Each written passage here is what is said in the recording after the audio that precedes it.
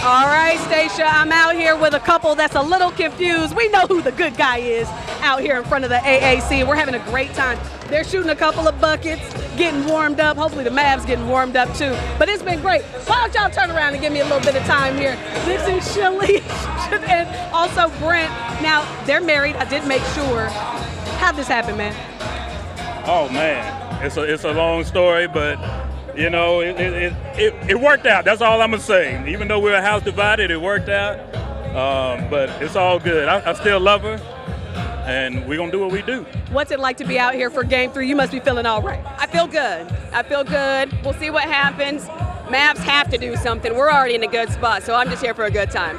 All right, Mr. Brent, I'm gonna have you slide over. We're gonna take one shot just so we can see. I'm gonna set this down. Five seconds. Here we go. Of. That's what I'm talking about. Justice.